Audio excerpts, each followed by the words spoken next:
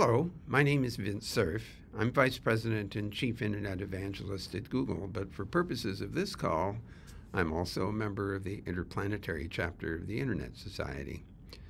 Uh, from time to time, uh, I have an opportunity to work with my colleagues at the International Center for Theoretical Physics, not about the physics side of things, since I'm just a computer engineer, but about radio and communications. And your meetings today have as a central theme going through them radio based communications. And here uh, we get to a most important point, which is the whole day on delay and disruption tolerant networking. Uh, my good friend Samo Grasic is going to be speaking to you and representing our interplanetary chapter and his experiences, very unusual experiences with the use of delay and disruption tolerant networking. Where did all this come from? Well, it, it began uh, in 1998 as a small group of us at the Jet Propulsion Lab began to contemplate what should we be doing that will be needed 25 years later, and we concluded we should be thinking about the design and construction of an interplanetary backbone network to support manned and robotic space exploration. Well, here it is 25 years later. And lo and behold, uh, we are in the process of returning to the moon.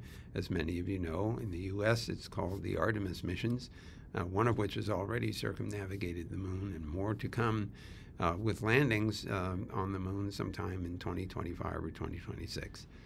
So, why are you uh, going to talk about the DTN at all? Well, it's a very important kind of protocol that operates in a parametric space well outside of the one for which TCP/IP was originally designed. And Samo, who can tell you that his experiences uh, fall squarely in the middle of that unusual parametric space, uh, will uh, illustrate uh, why it is that we need to contemplate these alternatives to the conventional uh, internet protocols that are so broadly in use today.